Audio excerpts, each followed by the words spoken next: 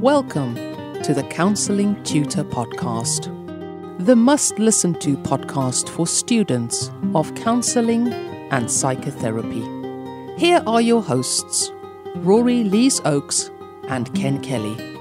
Hi, I'm Rory, and with me, as always, is Ken. How are you, Ken? Exceptionally well in the United Kingdom at this moment. It is a midterm break, and that's uh, when we put on a special edition. So we don't put a number to the podcast, it's just a special edition. And generally, in a special edition, what we'll do is we kind of turn to questions that we get asked a lot and try and answer those questions by bringing in an expert.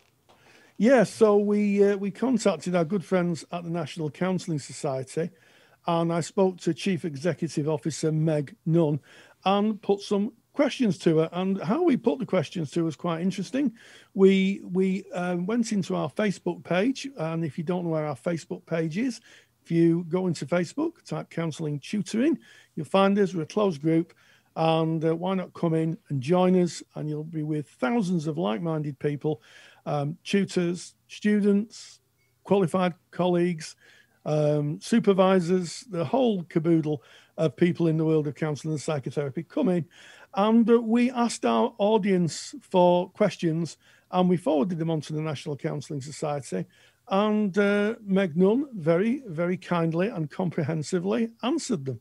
Yeah, and I think it's like when we, we, we look to a client, a client going into therapy has got a choice. They have a choice of what modality that they choose, they have a choice of which counselor they choose. And we, as therapists, we have a choice too. We have a choice of professional body or ethical body, and there are a number. It doesn't matter where you are in the world, chances are there are going to be a number of, of, of bodies that represent um, your your profession of counseling and psychotherapy.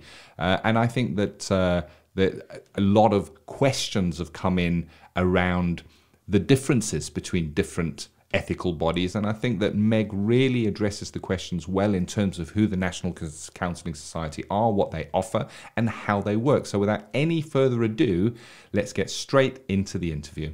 And it's my great pleasure to welcome Meg Nunn from the National Counselling Society. Meg, welcome. Hi, Rory. Thanks for having me. It's a total pleasure to be invited on. Yes, and um, I think it's um, it's an interesting point in time in terms of counselling, um, because there's a there's a number of ethical bodies of which the NCS is one. What, what's the history of the National Counselling Society? Where where are your roots or the society's roots? Yeah, that's an interesting one, and we've been talking about it quite a lot lately in the society. Um, so I've learned a lot myself recently. So we, I've only been here six years, so a lot of it is before my time. We started life in the mid 90s as the Counselling and Psychotherapy Society. So that was about 95 to 96. Um, and then the Counselling and Psychotherapy Society then changed their name to the Counselling Society, which lots of our members will remember because we have quite a few members that have been around since then. And then finally, we became the National Counselling Society in around 2012 to 2013. Um, in terms of history, we we kind of came to being from a group of counsellors, psychotherapists, hypnotherapists, and psychologists who wanted an alternative to the other professional bodies that were out there at the time. We wanted to be more grassroots, to be more member led, member orientated. And we've grown and changed a lot, uh, especially over the past few years. But the core principles behind why we were founded way back in the mid 90s have really stayed the same throughout our history. And I think it's important that when anyone new joins the society as a staff member, that they really get a feel for the importance of that, because I want it to be really evident. Um, you know, no matter who you talk to or no matter what you need the society for, yeah, and I, I think that's that's an interesting history, a, a, potted history. What what makes you different from other ethical bodies? Where where do you see your unique selling point, if if that's a, if that's a phrase we would use for, for an ethical body? Our USP, yeah, um, that is a good question and one that we've kind of answered quite a lot over the over the recent years. So I think the thing that stands out for me most personally is being member led. Um, that's what we're all about. It's our MO, our raison d'etre. Um, that, that's what I feel draws people to us who ultimately want to have a say in policy, in direction, and it's it's really hard work. Don't get me wrong. Uh, we have a lot of passionate members who want input on in the different things that the society does, and that can be quite hard to manage sometimes. But it's wonderful. Our society is totally shaped by that, and I'm really proud of it. Um, so this week, for example, I had a great meeting with four of our members to discuss our communications guidance and how that can be improved. And I came away from that meeting having not just a deeper understanding about what would make good communications guidance for members, but actually what would be a really good way of presenting any guidance that we make that make you know make sure that it respects autonomy, shows trust, allows the client to make their own choices. So yeah, I think it was probably the most important meeting I've had this year. I think in some ways, I learned a lot from it from other people, and I and I always do. And I think that's the thing about being member orientated. It's not just something we say. You know, we do it all the time. I do it all the time. Um, oh, sorry, sorry. Back to the question. Um, what can we offer that other ethical bodies can't? Um, I think we can offer a lot of the same things. So we've got a trusted register, guidance, support, discounts, um, and all of the other ethical bodies offer their own things on top of that as well. But I think I'm I'm happy to to say that being member led is something the NCS is really really good at. And uh, yeah, so I think that's my answer. Yeah, I think that's a very comprehensive answer.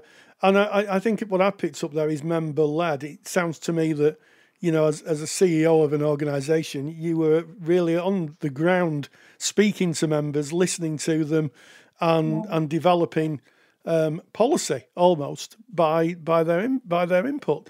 Um, is it important to have a mixed economy of ethical bodies? I, I, think that it can be sometimes confusing for both professional colleagues and student colleagues to to know there's a number of ethical bodies. Is there a benefit to having a mixed economy of ethical bodies?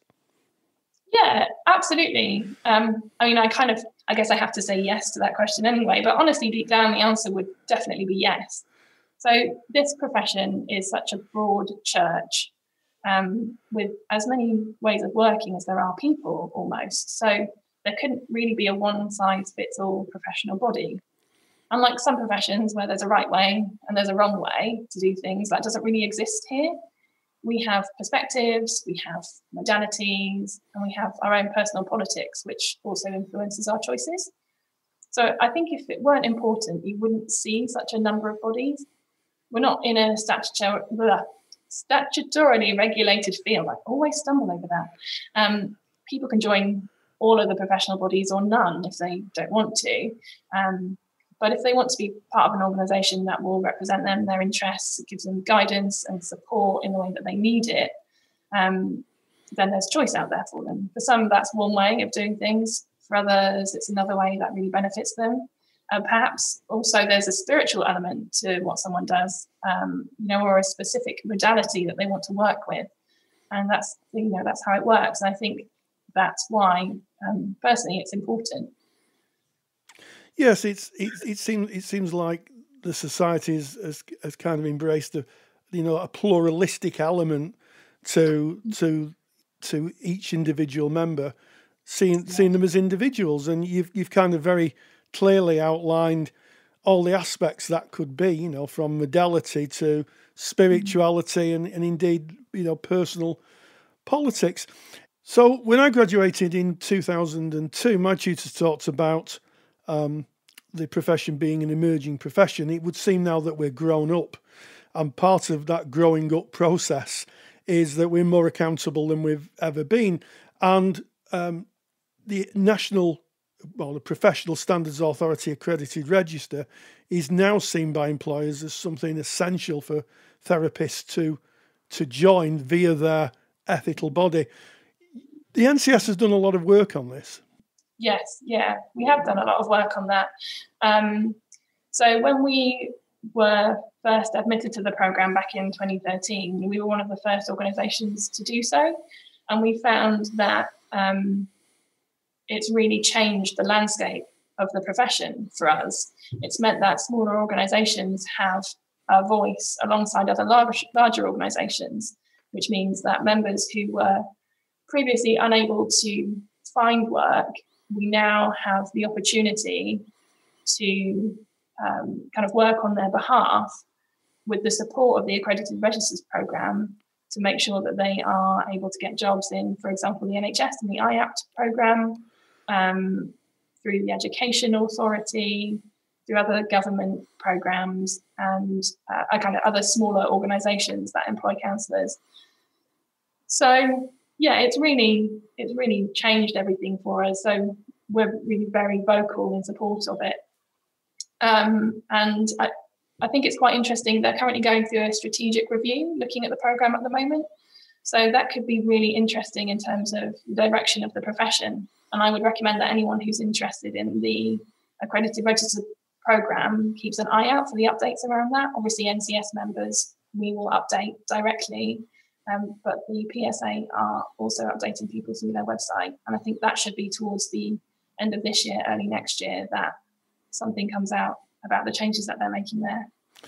Yes, and and I think one of the things that employers look for now is that accredited registers um, program. You know, they ask usually employers ask for a member of an ethical body, and and part of that is it's it's it's kind of done through the ethical body, isn't it? People join the ethical body, and then through either doing an online an online test or through submitting work. What what is the process for someone to be an accredited member uh, and to get on the register via your membership, via the NCS's yes. membership? So for the register, uh, we look at training. So we mapped to Ofqual levels, and we were one of the first organisations to do that. So we look for someone to have an Ofqual level for training in counselling and psychotherapy, uh, which has a placement of least at least 100 supervised hours. Um, and that's what we look at for the register. Uh, and we, we go into a lot of depth when we assess the training that people have done. So we often ask for like course transcripts and things if we don't recognize the course already. And then we have different levels of membership after registration. So we have what's known as accredited professional registration, which is a work based uh, uh, level, which is equivalent to the BACP accredited membership. So uh, it's the same, the same standards as that. Basically, uh, we look at we look for a written statement, which is about seven and a half thousand words to go up to, to that level, and you have to have been in practice for at least three years and have done you know a minimum number of client hours. Um, so yeah, so so getting onto the register, obviously, yeah, we look at qualifications basically. Yes, so there's a there's a parity there with other ethical ethical bodies. What um, what does the NCS offer qualified practitioners? What what kind of things are, do you get involved in to support practitioners who join you? Mm-hmm. Yeah, quite a few things. So the first thing, and I think the main thing, is being listed on our accredited register. So the same as you get with other professional bodies, as we were just talking about. It also functions as a very user-friendly directory, which we advertise on social media, so our members get clients do it. Um, and we've had some great success for members doing that. Uh, that's free; you don't have to pay any extra to do that. Uh, we also have an ethics officer and membership services officers who can help with any queries you might have or support you might need. But actually doesn't just apply for qualified practitioners. Um, students can use those services as well. Uh, same goes for book discounts, insurance discounts. We do have some discounts that are that only apply to registrants, so that's uh, counselling directories. So um, we do have some discounts there. And we've also got some really great guidance documents that I think would be of massive help to qualified practitioners. So we have a section for children and young people, and we're about to publish our framework for that this week. But we also have some good practice guidance there. Uh, supervision, gender and sexual relationship diversity. Our um, our GSRD ambassador is Dominic Davies of Pink Therapy, who's one of the leading sources for practice and working in GSRD, uh, which is really, really fantastic for us. So um, obviously check them out if you haven't heard of them and it's something that you're interested in. Uh, we also have some really fab guidance that we've recently published for getting set up in private practice. So it gives a handy checklist of things to think about, and it gives um, it gives prompts. So things to think about for the, the what and the why of private practice and what works best for you and your clients, rather than just saying, do this, this, this, and this. Obviously, there is a have you checked you've got that tick? Have you checked you've got that tick? But also, why are you doing this? What what are you hoping to achieve out of this particular thing? It's really comprehensive, and um, yeah, a lot of people have given us some really good feedback on that. It sounds like you're a very busy organisation. I know you just recently had a newsletter that went out to members and in a in a very easy to use format. Um, I think I think counselling tutor may pinch that idea. To be honest, it's it's uh, it was a really easy to use format. Now, uh, as part of the interview, we we asked our, our membership on our Facebook page um, for questions, and they submitted them, and mm. um, we got an awful lot of questions around Scope Ed, which is the scope of practice and education. And I mm-hmm. think anybody who's listening to this will know what Scoped is. What's yeah. what's the what's the NCS's view on Scoped? Mm, that is a, a, a, good and timely question, I think. So uh, I get a little bit of history. The NCS as an organisation uh, wasn't involved with the setting up of Scope, Scope, Scope. Um, we've raised some really fundamental questions about the project since the first iteration back in 2018, and then to the second iteration when we published an open letter in August this year. They're all on our website under the important news section, so anyone can read them. Um, the first issue for us was that it was attempting to set common standards for the profession without actually including the profession. So, um, and we did some research and found the hierarchical nature of the project doesn't really fit with the research that we did. So, our members have a mix of competencies and abilities across all levels, um, not in line with the proposed standards. And then, you know, there are some other pretty big questions about the project. So, what will tier A, B, and C ultimately mean? Um, will there be an impact assessment? What are the unintended consequences for ethical practice? why is scoped not modality neutral? So it kind of glosses over person centered. Um, how does it account for you know individual practitioners' lived experience? What will happen to the third sector? Um, you know, with TSE practitioners, uh, you know, only being able to do some of the work in that sector. Um, and then, kind of most importantly, I think for me is what's you know what's the end goal here? What are we trying to achieve? So we were invited during the latter part of this year to participate in those discussions along with other accredited registers um, to see if there's any way that we can shape this project and make it something that will be useful. So we're taking all of our questions, our members' questions, uh, and all the other issues that have been highlighted in the profession. So, uh, for example, uh, the, there's an open letter that's just been published by Janet Tolan and Andy Rogers um, and that was sent to all of the involved bodies on behalf of the person centered therapy community.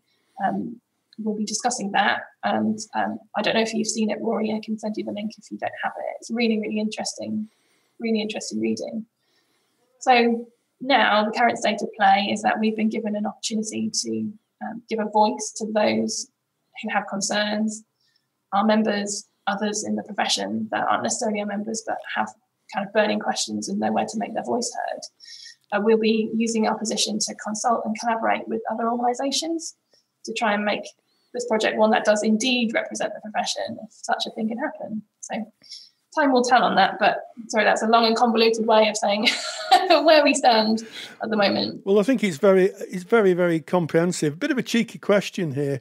Um, has your membership gone up since Scoped became public knowledge? Hmm. Um, our membership numbers have increased a little due to the scope, scope ed, scoped project. Um, sure, uh, a couple of people have come over citing that as the reason that they have, have joined us. Not as much as you might think uh, from reading social media, for example.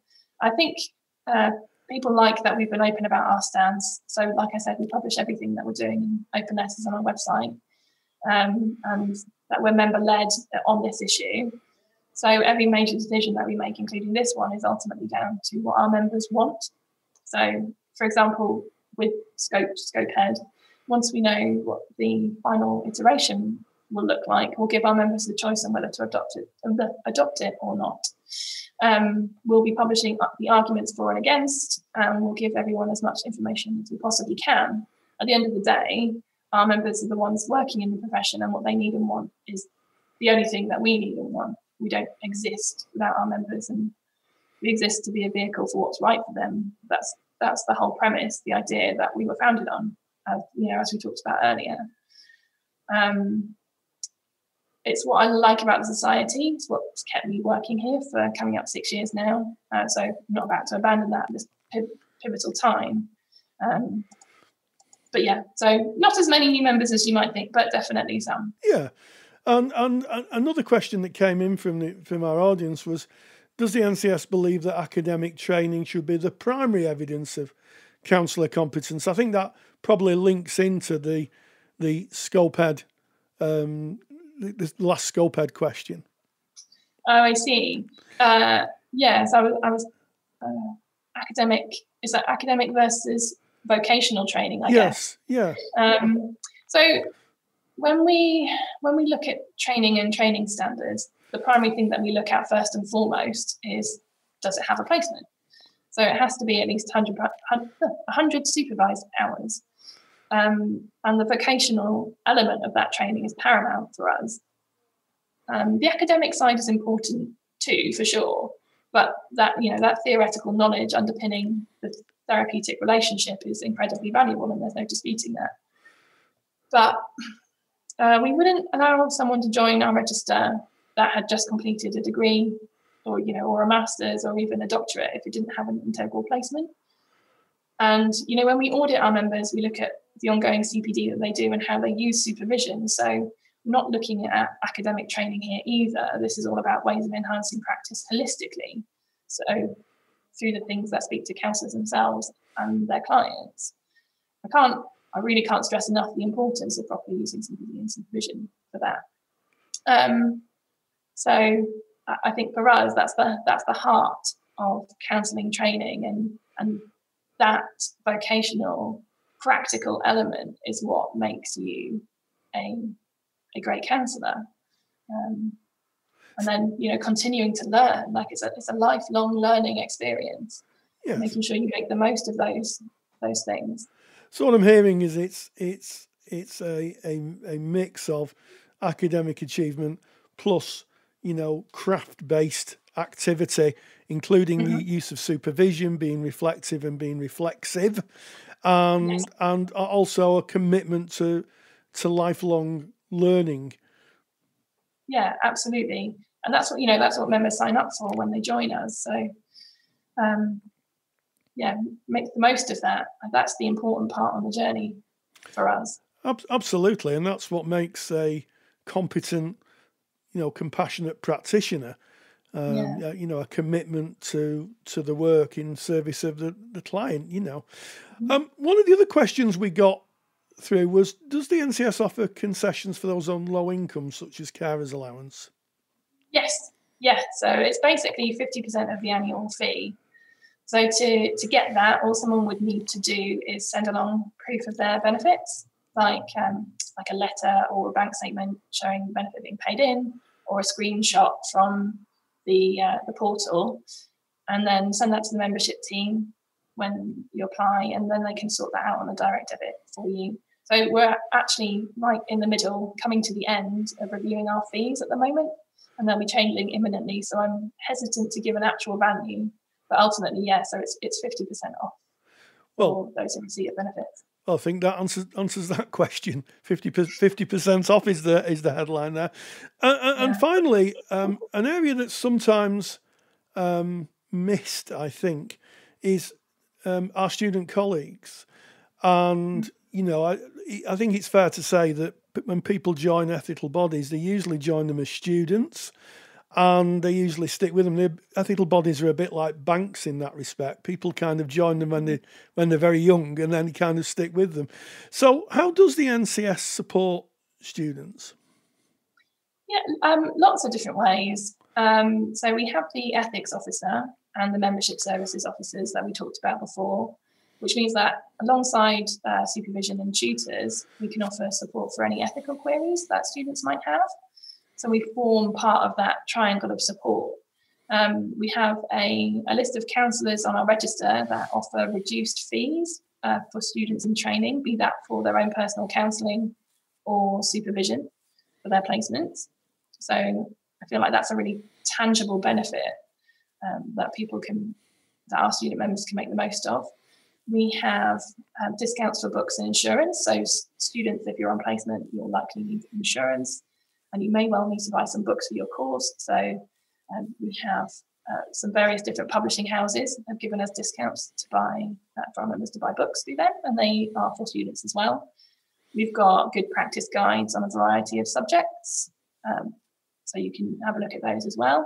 A free monthly magazine that keeps everyone up to date with what's going on in the profession. Discounted, oh, discounted membership fees for students. Um, and we're also looking at discounted CPD fees, but that hasn't been finalised yet. The discounted membership fees for students is in part of our fee review, so I can't tell you what those are either yet, um, but that will be coming out shortly. Um, uh, we've also got ethical guidance through the members area of the website. Um, yeah, uh, loads of different different things, but basically lots of support uh, and discounts for students. And we're always looking for more ways that we can help. So if there's ever anything anyone wants us to help with, then I'm always happy to look at it and try and make it work if we can. Yeah. So if you are a student who is just about to think about going into practice, maybe you've secured a placement, it may be worth, you know, if you're if you're if you're you know instructed by your you know your educational establishment, your tutor to join an ethical body, it may be worth having a look at the NCS and having a look and going onto the website because you do offer, you know, quite a considerable uh, package for students. You know, mm. and as we've said earlier on in in, in the interview, um, you know, the NCS is recognised by the Professional Standards Authority. So um, I hate to use the word it's a it's a proper ethical body, but I think I think it I think it, it is. It's a it is a it is an eth- it is an ethical body that's recognised in the profession. Would you say that was a fair summary? Yeah, absolutely. Um, and if you've got any questions after listening to this, then just give us a call, and we're always more than happy to answer any questions you've got. But yeah, that, that was a good summary, Rory. Thank you. well, it's been it's been lovely talking to you, Meg.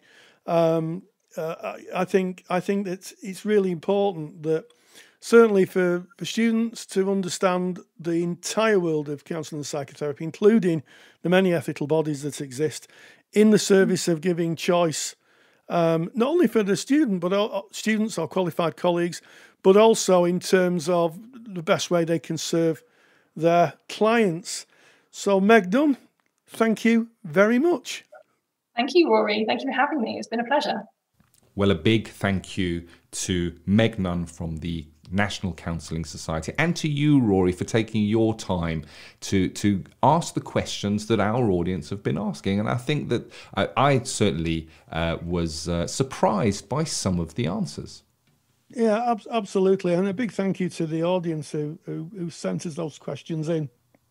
Quite a lot of questions came through, and uh, yes, and I think the one thing that I will take away from the interview is, is, is that the National Counselling Society is on the accredited register. It is um, kind of seen by employers as as a as a ethical body that um, that upholds standards in the profession. And I have to say, they're they're a jolly nice bunch when you when you speak with them. They're a, they're a jolly nice bunch of people, and um, and and very very transparent. So we thank Meg for her time, and uh, we hope you enjoy um, the answers that she gave. Thank you for listening to the Counseling Tutor podcast. Find the show notes for this episode on our website at www.counsellingtutor.com.